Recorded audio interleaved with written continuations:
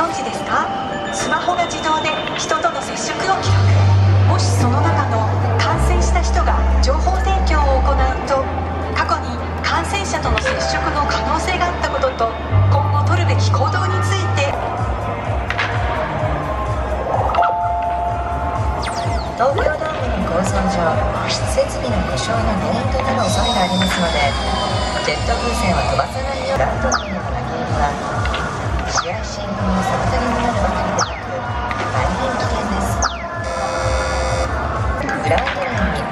したり手を出したりする行為は決してなさらないでください。試合進行の妨げになるばかりでなく楽しい野球観戦のために皆様のご協力をお願いいたします。選手がフェアプレーに専念できる野球場を守るため試合観戦契約約を設け暴力団と悪質応援団の排除に取り組んでいます。ァンの皆様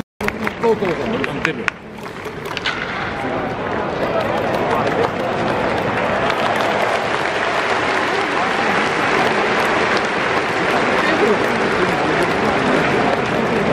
でも、いや、向こうがね、どうかなと思って。